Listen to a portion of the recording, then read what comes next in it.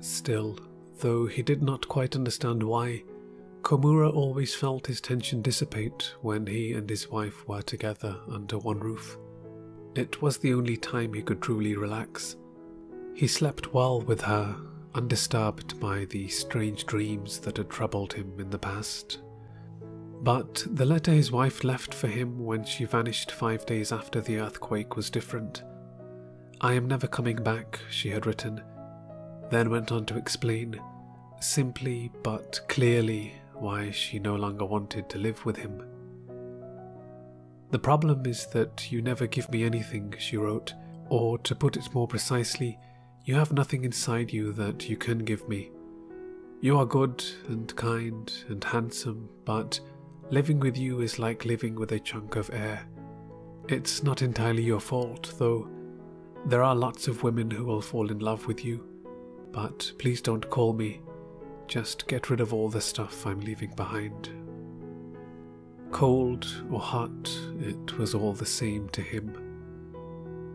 No matter how far you travel, you can never get away from yourself, Shimao had said. The wind, it came from some place unknown to Komura, and it blew past to some place unknown to him. The flames accepted all things in silence, drank them in, understood, and forgave. A family, a real family, was probably like this, she thought.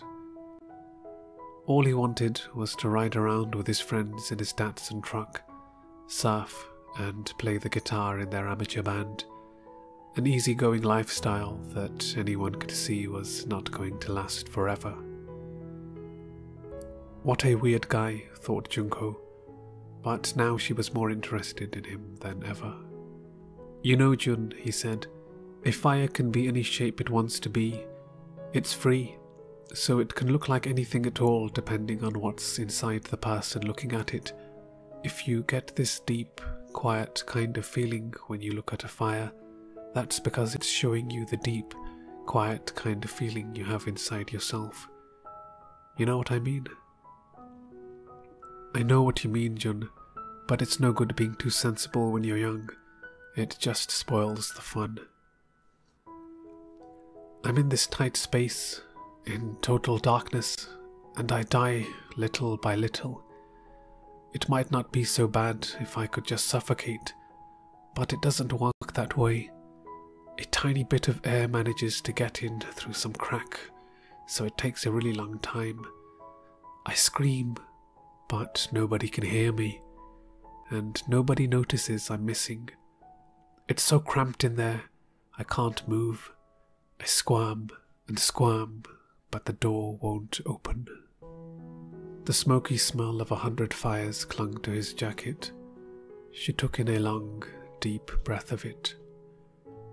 Anyhow, let's wait till the fire burns out, Miyake said. We built it so we ought to keep it company to the end.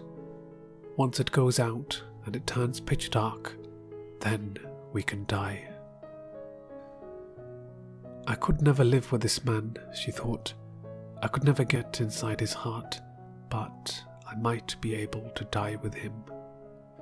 He walked with the slow pace of someone deep in thought.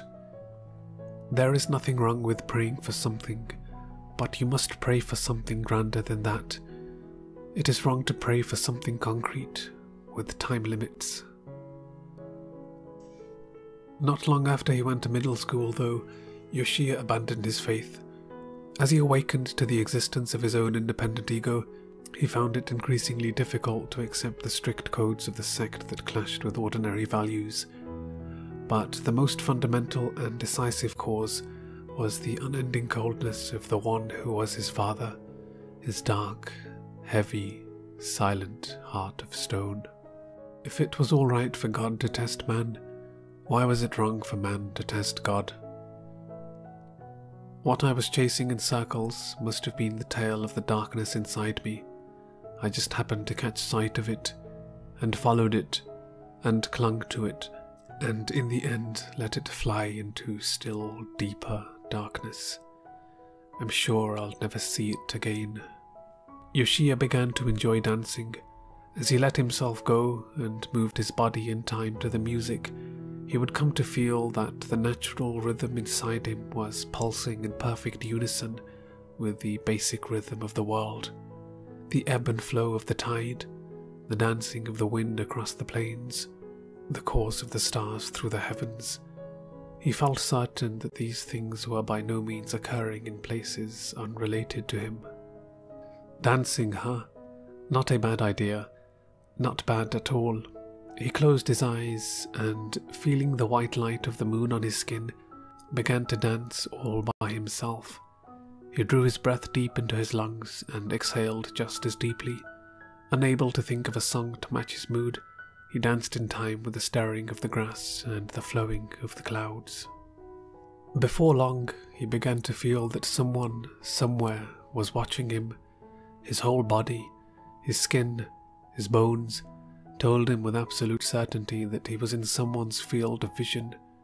So what, he thought, let them look if they want to, whoever they are.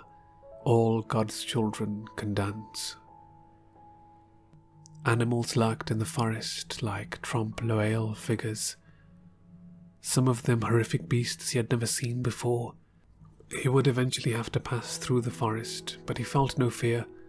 Of course, the forest was inside him, he knew, and it made him who he was.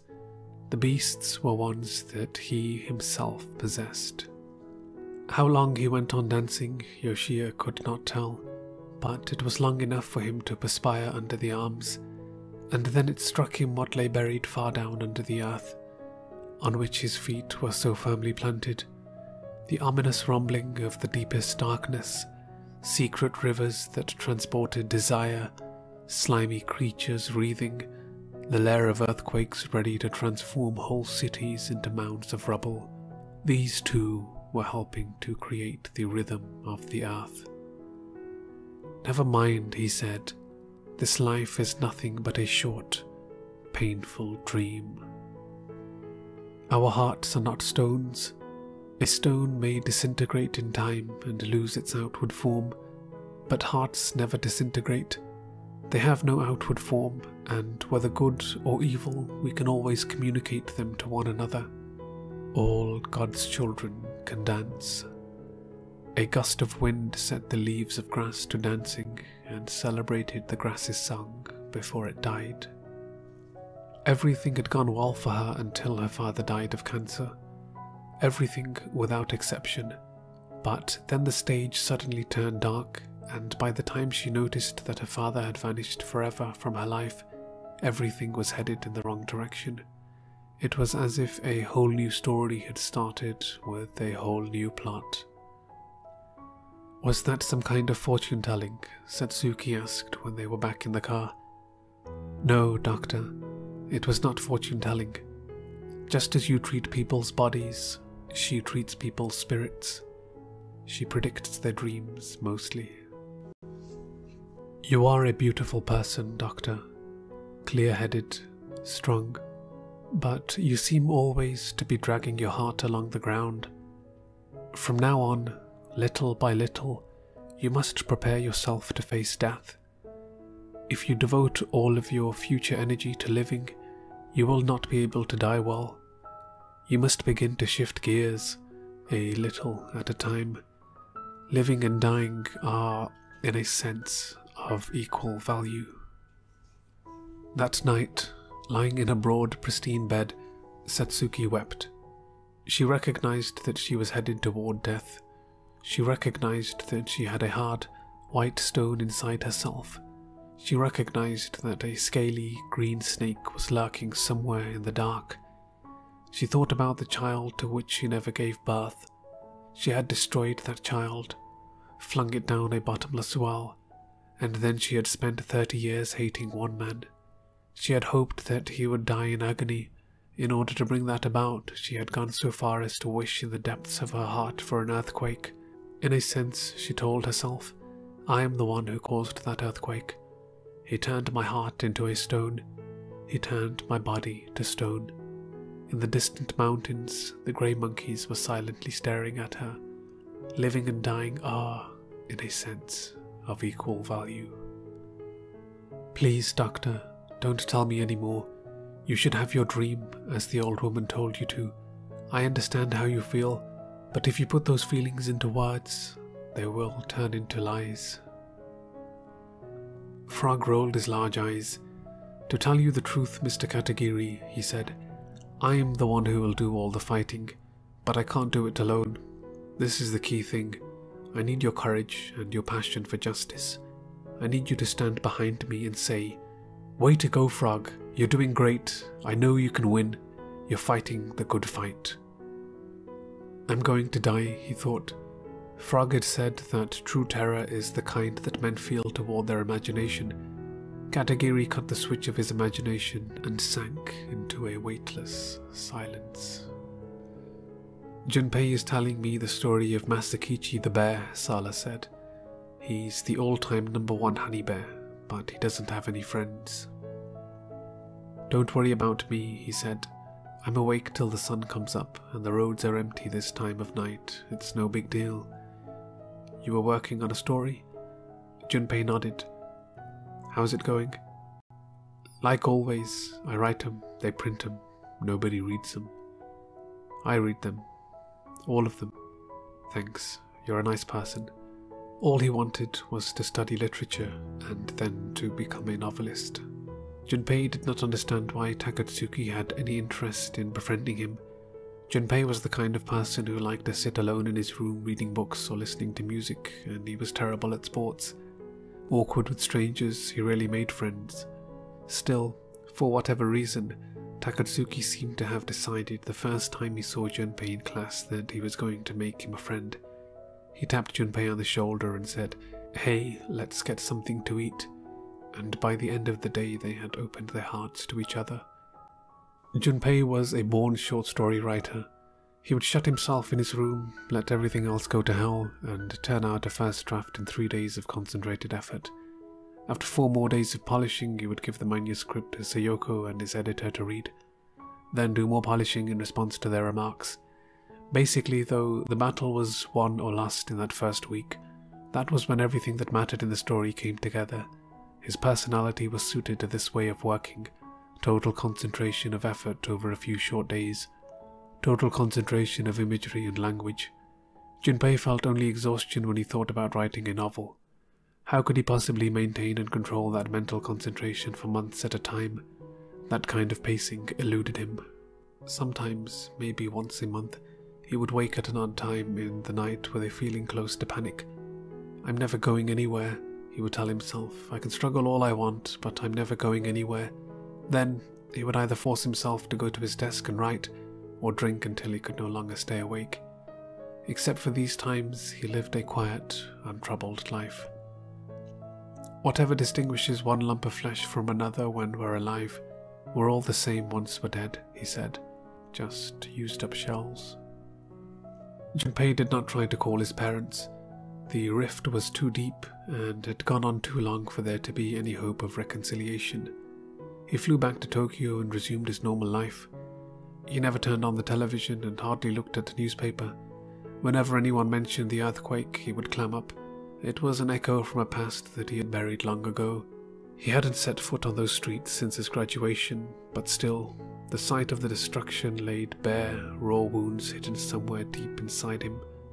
The lethal, gigantic catastrophe seemed to change certain aspects of his life, quietly but from the ground up. Junpei felt an entirely new sense of isolation. I have no roots, he thought. I'm not connected to anything. Finding one person to love over the long haul of one's life was quite a different matter from finding friends. Junpei closed his eyes and thought about the long stretch of time that had passed through him. He did not want to think of it as something he had merely used up without any meaning. I want to write stories that are different from the ones I've written so far, Junpei thought. I want to write about people who dream and wait for the night to end, who long for the light so they can hold the ones they love. But right now I have to stay here and keep watch over this woman and this girl. I will never let anyone, not anyone, try to put them into that crazy box not even if the sky should fall or the earth crack open with a roar.